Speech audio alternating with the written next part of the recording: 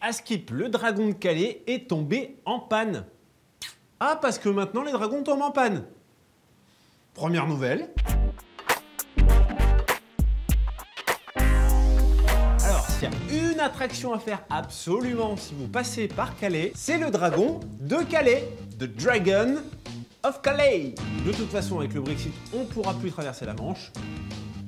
Donc, euh, bah, autant rester en France et aller à Calais. Ceci est de l'humour, je précise. Donc le dragon, c'est cette énorme bestiole articulée qui illustre la stratégie de la ville de Calais pour changer son image. Et c'est vrai qu'elle en avait besoin. Après son inauguration triomphale, le dragon est devenu une attraction du front de mer depuis la mi-décembre. Pour la modique somme de 9,50€, vous allez pouvoir monter sur son dos et déambuler pendant en gros une vingtaine de minutes. Dépaysement assuré.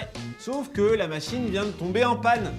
Eh ouais, eh oui, c'est ballot Eh, parce que le dragon, c'est un vrai succès Les places s'arrachent comme des petits pains depuis le début. Faites le calcul, les mercredis et week-ends sont généralement complets et ils transportent à chaque fois une cinquantaine de personnes. Donc, quand il tombe en panne en plein week-end, vous voyez le problème?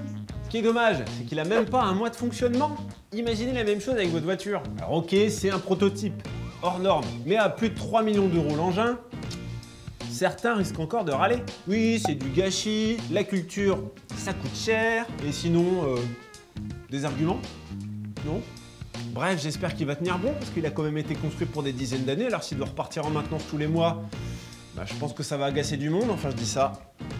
Je dis rien.